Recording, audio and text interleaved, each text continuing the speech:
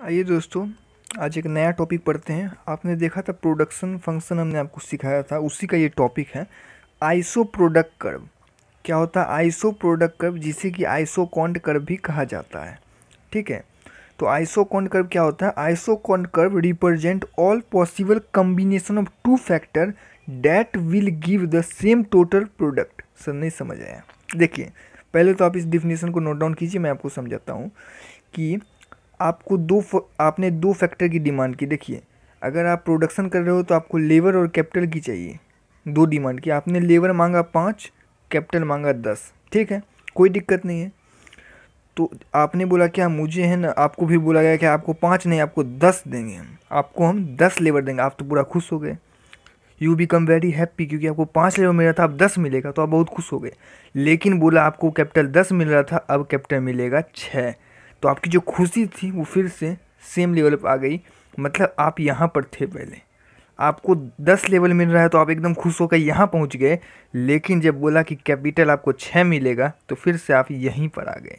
मतलब कि same level of production हो रहा है सेम सेटिस्फेक्शन आपको मिल रहा है। तो आपका जो यहाँ पर same level of total product होगा। तो उसी प्रकार से फिर पंद्रह मिला तो बोला चार मिलेगा तो सेम ही है भाई। कोई बड़ा अंतर नहीं। अगर पंद्रह मिलता और ये दस ही रहता तो ना खुशी होती है हमें।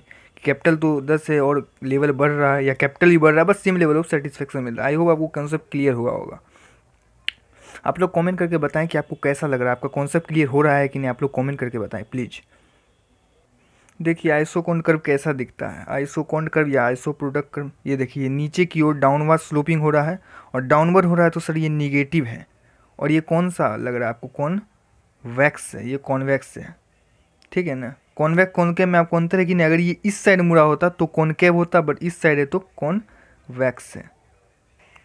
आइए इसके करेक्टरिस्टिक्स देख लीजिए। The slope of isoquant curve negative होता है। They need not to parallel to each other ये जो है पैरल नहीं होते हैं। ठीक है, कभी ये पैरल नहीं हुए, क्योंकि ये कर्व के टाइप के होते हैं। Equal product curve never cut अगर दो प्रोडक्ट कर्व जो है, वो कभी भी एक दूसरे को नहीं काटेंगे। Isoquant are convex to origin. ये कॉन्वेक्स टू ऑरिजिन हमने बता दिया, आपको कॉन्वेक्स होते हैं। Isoquant do not touch either axis. किसी भी एक्सिस को ये टच नहीं करते हैं। देखिए, ये एग्जांपल आप देखिए, यहाँ पर किसी भी, यहाँ यहाँ टच हो रहा है, इस लाइन, दोनों लाइन को टच कर रहे हैं, नहीं ना? तो वही यहाँ प्रॉपर्टी में लिखा हुआ है, इसके करेक्टरिस्टिक्स है। They are over oval shape sir oval की तरह होते हैं, ये देखिए ओवल की तरह है, इस साइड है, ऐसे ओवल की तरह है।